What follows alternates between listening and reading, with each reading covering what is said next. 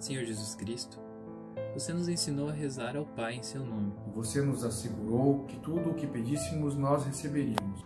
Por isso, nos dirigimos a você com total confiança, pedindo-lhe para nos dar a graça e a força de perseverar nesta tempestade. Para alcançar a paz e a segurança antes que seja tarde demais. Essa é a nossa oração.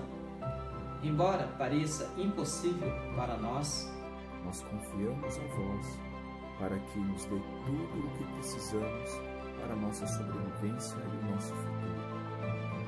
Ajude-nos, Pai. Em nome de seu Filho crucificado e ressuscitado, Jesus. Para continuarmos a trabalhar juntos. Para sermos livres, responsáveis e amorosos. Para encontrarmos a Sua vontade e fazê-la com alegria, zelo e coragem. Em Caná, a mãe de Jesus foi a primeira a notar que não havia vinho. Pela intercessão de Maria, pedimos, Pai, para mudar a nossa situação.